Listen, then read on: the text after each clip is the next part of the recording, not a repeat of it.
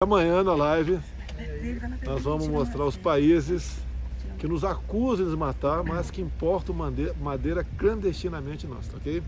Um trabalho maravilhoso da Polícia Federal, baseado em isótopos.